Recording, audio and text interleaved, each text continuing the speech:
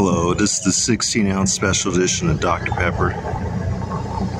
We decided to do a little, add a little voodoo heat to it to really bring out that southern sweet magic. And there it be.